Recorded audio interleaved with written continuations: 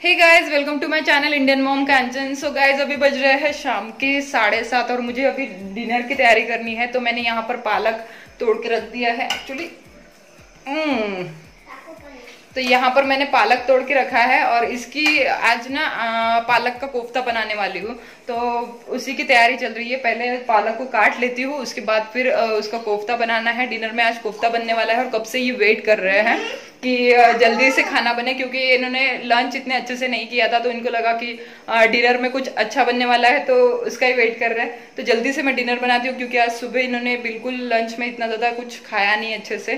तो मुझे लग रहा है कि जल्दी से मैं डिनर बनाऊँगी तो ये जल्दी से डिनर कर लेंगे। तो जल्दी से बनाती हूँ और फिर इसकी रेसिपी आपके साथ शेयर करती हूँ, उसके बाद मिलती हूँ आपसे। ये पालक कोफ्ता करी बनाने के लिए सबसे पहले हमें लगेगा पालक। तो यहाँ पर मैंने पालक वॉश करके रखा था, उसे सुखा लिया था और उसे बारीक बारीक चॉप कर रही हूँ यहाँ पे।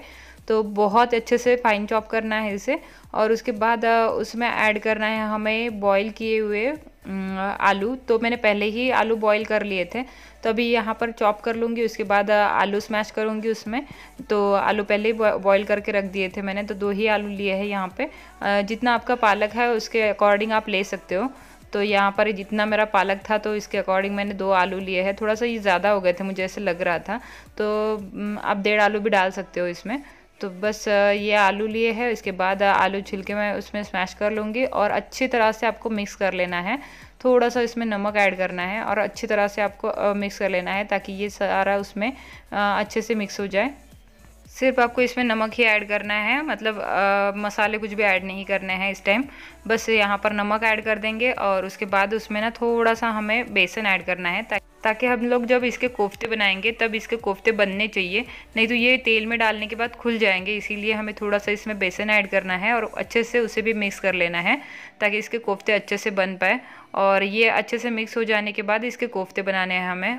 थोड़ा सा आपको जब तक लगता है कि आपके कोफ्ते बन जाने चाहिए, तब तक आपको थोड़ा सा बेसन ऐड करते रहना है इसमें। और जब आपको लगेगा कि हाँ इसके कोफ्ते बनेंगे तो बस आपको बेसन ऐड करना स्टॉप कर देना है और उसके बाद आपको इसके कोफ्ते बना लेने हैं। थोड़ा सा कोफ्ते बनाने के टाइम हाथों में तेल भी लगा सकते हो आप ऑयल लगा के अच्छे से कोफ्ते बन जाएँगे मतलब वो खुलेंगे नहीं इसी वजह से। ऑयल लगाना ज़रूरी है थोड़ा सा ऑयल लगा लीजिए और इस तरह से कोफ्ते बना लीजिए। और फिर आप अगर राउंड शेप में बनाना चाहते हो तो राउंड शेप में भी बना सकते हो। अगर आप थोड़ा सा ओवल शेप में बना चाहते हो तो वो भी बना सकते हो। तो इस तरह से बना लीजिए और बस फ्राई कर लीजिए। थोड़ा सा ऑयल पहले गर्म होना चाहिए तब जाके उसमें डाल देना है आपको। ये थोड़ा सा ज़्यादा लग रहे थे मुझे मतलब ज़्यादा डाल दिए थे मैंने। तो थोड़ा सा आ, मतलब पलटाने में थोड़ा सा प्रॉब्लम हो रहा था। आप कम कम डालिएगा। तो यहाँ पर बस मैं ग्रेवी की तैयारी कर रही हूँ। तो यहाँ पर मैंने मलाई ली है जो दूध के ऊपर की मलाई रहती है वही ताज़ी मलाई ली है। उसमें मैंने मिक्स कर दिया है बेसन थोड़ा सा एक चम्मच बेसन आपको मिक्स कर देना है। ये मैंने आधी कटोरी से ज़्यादा थोड़ी सी मलाई ली है, उसमें एक चम्मच बेसन ऐड कर दिया है, बड़ा सा एक चम्मच, और उसके बाद अच्छे से उसे मिक्स कर लेना है। और ये होगा ग्रेवी के लिए। ये ग्रेवी की तैयारी चल रही है। तो बस यहाँ पर मैंने प्याज का पेस्ट भी बना लिया है। प्याज को मैंने भुना वगैरह नहीं था। ये मैंने कच्चा प्याज का ही पेस्ट बनाया है यहाँ पे। और उसके बाद हमें लहसुन अदरक का पेस्ट चाहिए होगा। तो बस यहाँ पर मेरे कोफ्ते फ्राई होके रेडी थे। तो यहाँ पर ऐसे गोल्डन ब्राउन कलर आने तक कोफ्ते फ्राई कर लेने हैं आपको। उसके बाद ग्रेवी की तैयारी करनी है तो इसी तेल में थोड़ी सी ग्रेवी की तैयारी करेंगे हम लोग। तो ये तेल थोड़ा सा ज़्यादा लग रहा था मुझे, इसी वजह से थोड़ा सा तेल इसमें से निकाल लिया था मैंने और थोड़ा सा रहने दिया था, उसमें ही ग्रेवी बनाई थी। तो बस इसमें से तेल निकाल लेना है थोड़ा सा रहने दिया था, बस इसमें मैंने ऐड किया है अभी लहसुन अदरक का पेस्ट के बाद इसे अच्छे से भून लेना है लहसुन अदरक के पेस्ट को, ताकि इसकी कच्ची स्मेल चली जाए और ये अच्छे से भून जाए। तो बस इसे अच्छे से भून लेना है। उसके बाद हमें इसमें ऐड करना है प्याज का पेस्ट। तो दोनों भी साथ में बाद में भूनने हैं हमें, ताकि प्याज की भी कच्ची स्मेल चली जाए और उसको भी अच्छे से भून लेना है। भूनने पर ही डिपेंड करता है कि आपका आपकी ग्रेवी कैसे बनेगी, इसीलिए भूनने पर थोड़ा सा ध्यान देना है। बस इस तरह से इसे अच्छे से भून लेना है।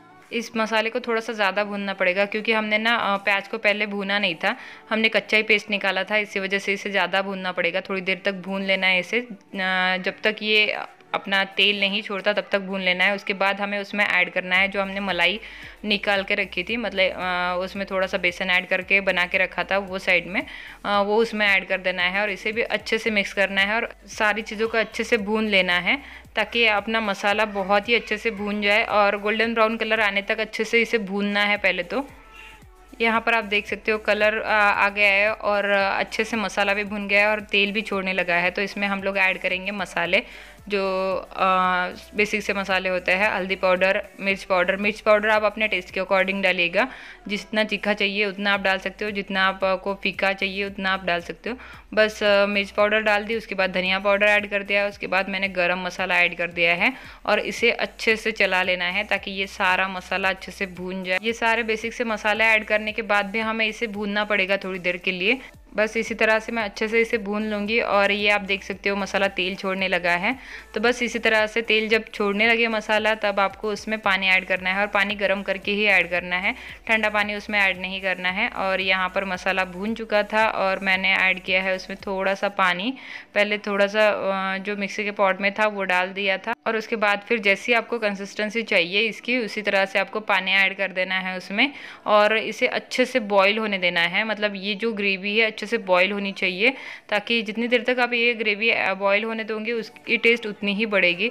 तो बस उसमें थोड़ा सा नमक ऊपर से ऐड कर दिया। नमक ध्यान से ऐड करिएगा, क्योंकि हमने पहले ही कोफ्ते में नमक ऐड किया था, इसीलिए थोड़ा सा ध्यान से ही ऐड करना है नमक। और बस हमें इसे बॉईल होने देना है ग्रेवी को। ग्रेवी को थोड़ी देर के लिए बॉईल होने देना है। काफ़ी अच्छे से जब ग्रेवी बॉईल हो जाएगी तब उसका टेस्ट और भी ज़्यादा बढ़ जाएगा। तो बस इसे बॉईल होने देना है, उसके बाद हमें उसमें कोफ्ते ऐड करने हैं। तो बॉईल हो, पहले थोड़ी देर के लिए ये ग्रेवी बॉईल ही होने देनी पड़ेगी आपको। और उसके बाद आपको लास्ट में जब ग्रेवी बॉईल हो जाएगी तो हमें गैस की फ्लेम जो है वो ऑफ़ कर देनी है और फिर उसमें कोफ्ते ऐड करने हैं। मतलब कोफ्ते बॉईल नहीं करने हैं हमें। यहाँ पर गैस की फ्लेम ऑफ़ कर दी है मैंने और उसके बाद थोड़ी देर इसकी स्टीम निकल जाने के बाद हमें उसमें कोफ्ते ऐड करने हैं। ये थोड़ी सी ठंडी हो रही थी वहाँ पे तो मैंने सोचा चलो तब तक मैं ये बर्तन पड़े थे तो वो वॉश कर लेती हूँ। क्योंकि कुछ भी बनाते हैं तो बर्तन निकल ही जाते हैं। तो मैंने क्या करती हूँ कि जब जो बर्तन निकलते हैं वो पहले क्लीन कर लेती हूँ, उसके बाद वो काम करती हूँ, दूसरा काम करती हूँ। तो मतलब ज़्यादा लगता भी नहीं है कि यार ज़्यादा बर्तन निकल चुके हैं तो ऐसा। इसीलिए फिर ये बर्तन क्लीन कर रही थी। बस बर्तन क्लीन हो जाने के बाद मैं उसमें कोफ्ते ऐड करूँगी। तब तक थोड़ी सी ग्रेवी जो है वो ठंडी भी हो जाएगी।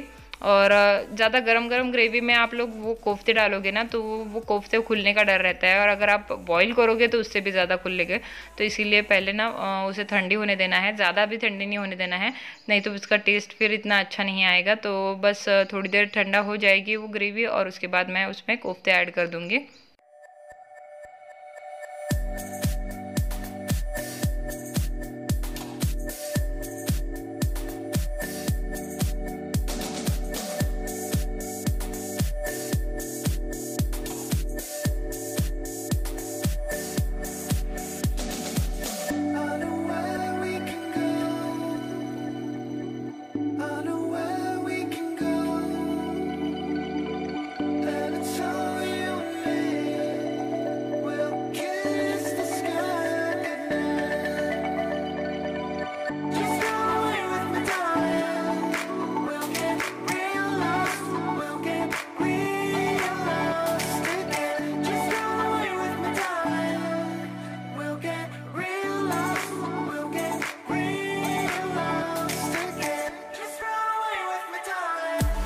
यहाँ पर रेडी हो गई है हमारी कोफ्ता करी और जो लोग पालक नहीं खाना पसंद करते हैं तो उनको भी पालक पसंद आएगा। ऐसे इस तरह से आप कोफ्ता करी बनाओगे तो। और बहुत ज़्यादा टेस्टी लगती है इस तरह से एक बार ज़रूर बना के देखना कोफ्ता करी और पालक कोफ्ता करी आपको बहुत ज़्यादा पसंद आएगी। तो ट्राई करना और मुझे कमेंट करके ज़रूर बताना कि कैसे लगी आपको रेसिपी एक्चुअली हम लोगों ने इसके बाद डिनर किया उसके बाद ना आ, कुछ भी शूट नहीं किया। फिर ये है नेक्स्ट मॉर्निंग का। एक्चुअली हम लोग जा रहे हैं पिकनिक करने। तो ये आ, मेरी फ्रेंड है आपको पता ही है। आ, इसके भाई के शादी में मैं गई थी इसके भाई के शादी का ब्लॉग मैंने आपके साथ शेयर किया था। अगर आप मेरे न्यू सब्सक्राइबर हो तो आपको नहीं पता होगा अगर आप मेरे ओल्ड सब्सक्राइबर हो तो आपको तो पता ही होगा। तो यहाँ पर हम लोग जा रहे थे एक्चुअली ये जो रास्ता है उसमें लोग वॉकिंग करने वगैरह जाते हैं तो यहाँ पर वही चल रहा था। मतलब लोग वर्कआउट भी कर रहे थे वॉकिंग भी कर रहे थे। तो काफ़ी अच्छा लग रहा था। मैंने सोचा चलो आपके साथ भी शेयर कर देती हूँ सुबह सुबह का नज़ारा। तो वही मैंने कैप्चर कर लिया और बस यहाँ पर एक्चुअली सेल्फी निकाल रहे थे तो ये वीडियो स्टार्ट हो गया। तो मैंने सोचा, चलो ये भी शेयर कर देती हूँ आपके साथ. एक्चुअली हम लोग यहाँ पर आए थे पिकनिक मनाने और वॉकिंग भी करने तो वॉकिंग की वॉकिंग भी हो जाएँगी और पिकनिक की पिकनिक भी हो जाएगी। तो ये यहाँ पर मेरे फ्रेंड इतने सारे चॉकलेट लेके घूम रहे थे। एक्चुअली ये चॉकलेट्स किस लिए लाए थे ये भी बता देती हूँ कि ये चॉकलेट ना उसकी भाभी का बर्थडे था इसी वजह से हम लोग पिकनिक मनाने आए थे बाहर। ये सुबह सुबह का टाइम है, बिल्कुल जो वॉकिंग करने के लिए लोग निकलते हैं बाहर तो हम लोग छः बजे ही निकले थे बाहर। और यहाँ पर एक मंदिर है तो यहाँ पर आए थे, पहले दर्शन करने हम लोग। और जो मेरी सिटी से है, उनको तो पता ही होगा ये कहाँ पे आए हैं हम लोग। एक्चुअली हम लोगों ने गाड़ियाँ सारी एक जगह पे खड़ी कर दी थी और उसके बाद हम लोग वॉकिंग करते हुए यहाँ पर आए थे। और वॉकिंग की वॉकिंग भी हो गई, उसके बाद हम लोगों ने पिकनिक भी मनाई बर्थडे भी सेलिब्रेट किया। एक्चुअली उसके भाभी का बर्थडे था, जिनकी मैंने शादी का ब्लॉग आपके साथ शेयर किया था, उस भाभी का उसका पहला बर्थडे था यहाँ पर उनके घर पे। इसीलिए लॉकडाउन के चलते उन्होंने ऐसे बर्थडे मनाने का सोचा और बहुत अच्छा बर्थडे सेलिब्रेट किया। मतलब एक्चुअली सभी को मज़ा आया। सभी ने बहुत ज़्यादा एंजॉय किया क्योंकि बाहर काफ़ी दिनों के बाद हम लोग निकले थे और बहुत ज़्यादा ये सारा ग्रीन ग्रीन ग्रीन ग्रीन बहुत अच्छा लग रहा था। मौसम भी काफ़ी ज़्यादा अच्छा हो गया था। एक्चुअली हम लोग जब खाने बैठे ना, उस टाइम लिटरली बारिश हो रही थी। तो वैसे बहुत ज़्यादा अच्छा लग रहा था। एक्चुअली हम लोग ना सुबह सुबह ही निकले थे और जैसे वॉकिंग के लिए हम लोग निकलते हैं और आजकल ना वॉकिंग स्टार्ट कर दी है मैंने सुबह तो वो भी बताना भूल गई थी मैं आपको। तो इनके साथ ही मैं वॉक के लिए जाती हूँ सुबह सुबह बहुत अच्छा लगता है और यहाँ पर इसीलिए हम लोग आ गए थे कि चलो वॉक भी हो जाएगी, हमारी पिकनिक भी हो जाएगी और उसका बर्थडे भी सेलिब्रेट हो जाएगा। तो ये है मेरी फ्रेंड आपको तो पता ही है और ये उसका भाई है। तो एक्चुअली हम लोग एक दूसरे को चिढ़ा रहे थे यहाँ पे इसीलिए शूट कर लिया था ये। पानी की कैन वगैरह और क्या बोलते हैं नाश्ता वगैरह हम लोग घर से लेके आए थे। हर घर का अलग अलग नाश्ता था। तो यहाँ पर हम लोगों ने सभी ने मिल नाश्ता किया। फिर बाद में ब्रेकफास्ट यहाँ पर ही हुआ हमारा सुबह का। और ये घर से ही लेके आए थे हम लोग गाड़ी में डाल के सारी चीज़ें। यहाँ पर ही फिर आ, सारा कुछ हुआ। मतलब जब हम लोग ब्रेकफास्ट कर रहे थे ना, उस टाइम बारिश हो रही थी, बहुत अच्छा लग रहा था यार। और इतने दिनों के बाद बाहर निकले तो बहुत ज़्यादा इन्जॉय किया हम लोगों ने। और ये जो वाइट टॉप में है, वही है उसकी भाभी और उसी का बर्थडे था तो की वजह से हम लोगों को सबको बाहर निकलने का मौका मिला था। और बहुत ज़्यादा इन्जॉय भी हुआ था उस दिन। तो यहाँ पर बस सभी लोग, हम लोग अभी ब्रेकफास्ट करेंगे और यहाँ पर भेल बनाई थी सब लोगों ने। मतलब जो जो चीज़ें लाई थी, वो चीज़ें सब मिक्स करके भेल बनाई थी हम लोगों ने। और मौसम इतना ज़्यादा अच्छा था कि वहाँ से निकलने का मन ही नहीं कर रहा था किसी का। और सबने मिल मतलब इतना ज़्यादा इन्जॉय किया, बड़ों ने, बच्चों ने, और सभी ने मिल इतना ज़्यादा इन्जॉय किया हम लोगों ने कि एक दो के साथ नहीं हो सकता था। इतने ज़्यादा मतलब इतनी बड़ी फैमिली थी और इतने ज़्यादा लोग थे ना तो इन लोगों में ही इंजॉय हो सकता है ऐसा। ये एक दो लोगों में इंजॉय नहीं हो सकता है। बस ऐसे ही इंजॉय किया, बहुत ज़्यादा अच्छा लगा और आपको भी देख के अच्छा लगा होगा। हे hey गाइस आज है नेक्स्ट डे और बस सुबह का टाइम है, अभी बज रहा है साढ़े दस आई थिंक कितने बजे हैं माही? अभी? ग्यारह बज रहे ग्यारह बज रहे हैं क्या? अच्छा तो अभी बज रहे हैं ग्यारह और कल ना उधर से आने के बाद बहुत ज़्यादा थक गई थी मैं और सभी लोग थक गए थे, क्योंकि हम लोगों ने वॉकिंग भी की, उसके बाद हम लोगों ने पिकनिक भी मनाई। बट बहुत इन्जॉय किया हम लोगों ने। तो बहुत ज़्यादा थक गए थे। उसके बाद आने के बाद तो बिल्कुल कुछ भी करने का मन नहीं कर रहा था। सो गए थे इधर से आने के बाद। तो ब्लॉगिंग तो की ही नहीं। तो आज मैंने सोचा, चलो ब्लॉग को एंड कर देती हूँ। क्योंकि कल ना ब्लॉग को एंड करना भी भूल गई एक्चुअली मुझे दोपहर तक याद था कि ब्लॉग को एंड करना है। उसके बाद मैंने सोचा, चलो यार जाने दो, कल करते हैं। तो आज फिर याद आया कि चलो यार आज करना है ब्लॉग को एंड तो बस यही था और बहुत अच्छा लगा वहाँ पर जाके और बहुत अच्छे से हम लोगों ने पिकनिक एंजॉय की। क्योंकि पूरे लॉकडाउन में आप लोगों को पता ही है कि मैं बिल्कुल बाहर नहीं निकली हूँ, कहीं गई नहीं हूँ बट अभी थोड़ा सा बाहर निकलने लगी हूँ थोड़ा सा एंजॉय करने लगी हूँ तो अच्छा लग रहा है। नहीं तो क्या हो रहा था कि घर घर में रह के इतना ज़्यादा बोर हो गई थी कि आपको क्या बताऊँ, मैं बता भी नहीं सकती हूँ, सब लोग बोर हो रहे होंगे बट अभी हम लोग ऐसे जगह पे गए थे मतलब एकदम सेफ़ जगह थी। चलिए फिर इसके साथ इस ब्लॉग को यही पे एंड करती हूँ और मिलती हूँ अच्छे से नए ब्लॉग में आपसे। ये मेरे बाल क्यों घास घास लग रहे हैं? तो पता नहीं, अभी कंगी नहीं की इसी वजह से।